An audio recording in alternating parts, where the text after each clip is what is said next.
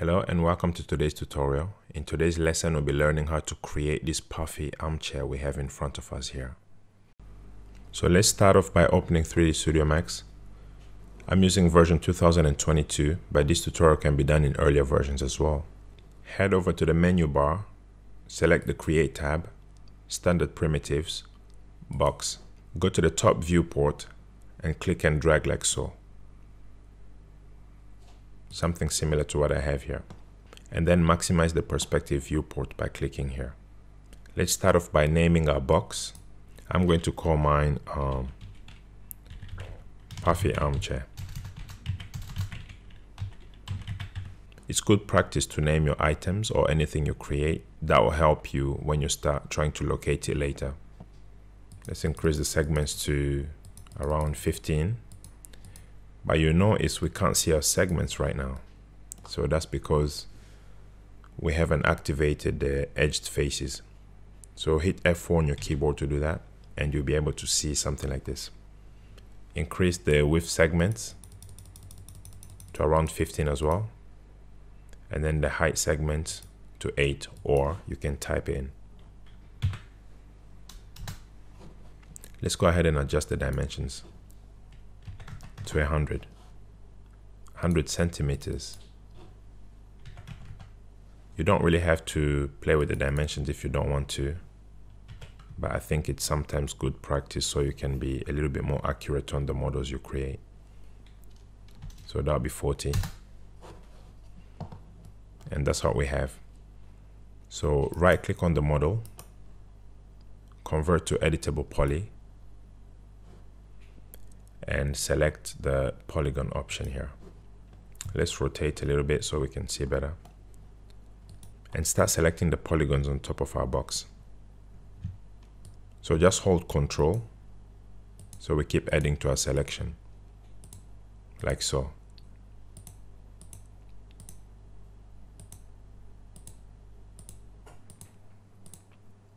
So select everything around the edge of our box like so.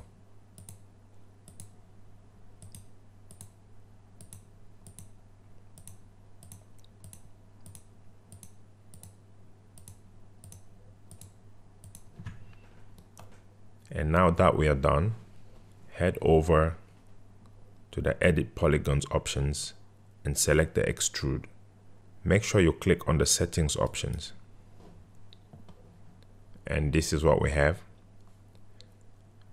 So decrease that from 10 centimeters to around around 5 so it looks similar to the ones below and then click plus to repeat the process several times, maybe around five or six times. That should be okay. And then accept that by clicking on the tick. This is what we have. So deselect the polygons by clicking anywhere on the screen. So this is what we have.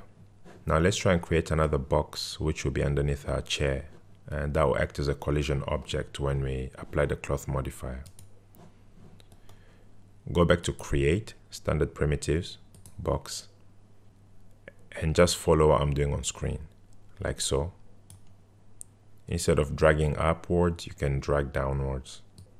And for this box you can call it the base or anything you want. Maximize that viewport one more time. Go ahead and grab the select and move tool. So now we have two options we can either click and drag and apply the cloth modifier to both objects, or we can start off by grabbing our armchair, going over to the modify panel, and then applying the cloth modifier, like so. Once applied, just scroll down and make sure our gravity is at zero. Press enter and then scroll up again object properties.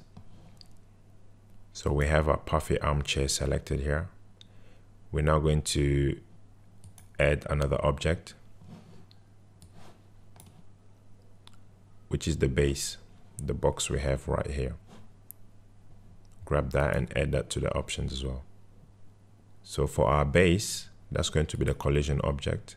there's nothing to play with there that would be a cloth and for the presets let's select um i mean you can select anything here but but for this tutorial i'll grab the taffeta go down to pressure and set it to 5 click ok. And then simulate local. You see what we have here we need to change the settings. Let's head over and control Z. Object properties one more time. Select the puffy armchair and reduce this to maybe 2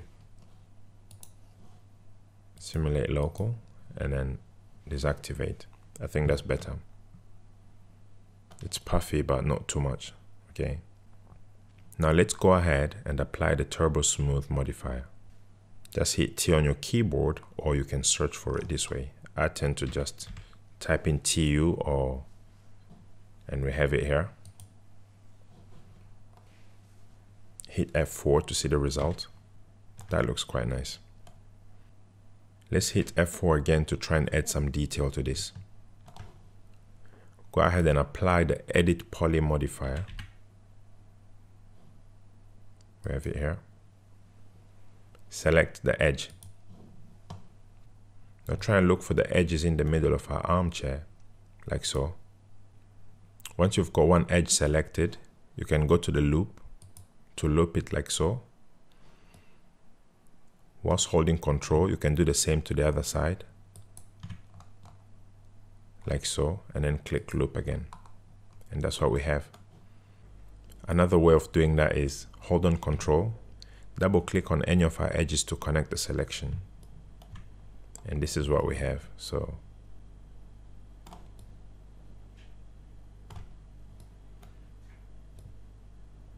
Let's head over to the extrude panel and select the settings on the right side of it like so.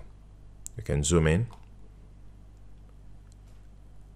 let's decrease uh, maybe let's increase that a little bit from here. And then go minus at the top. So we're going to make an inward extrusion. Like so. I think that's all right. Click plus once so that we repeat the extrusion inwards. And then finish the selection by clicking on the tick and this is what we have. Hit F4 and maybe exit the selection by clicking the create panel like so. But we need to make these edges a bit smoother. So let's go ahead and apply the turbo smooth modifier to our model one more time.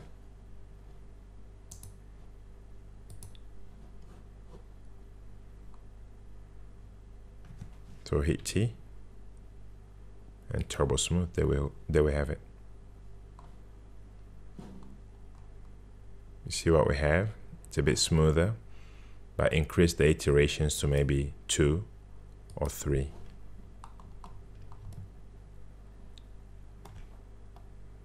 And that's very nice.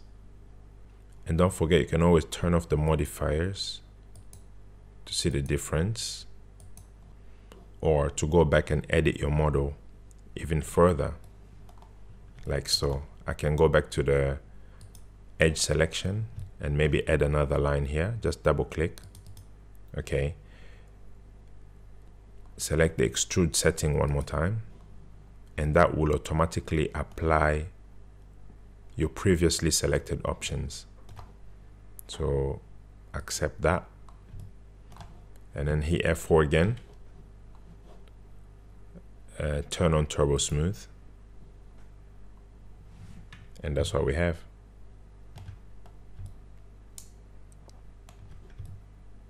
think that looks better. So if you enjoyed the video, please like and subscribe. It will be much appreciated. Thank you and see you on the next video.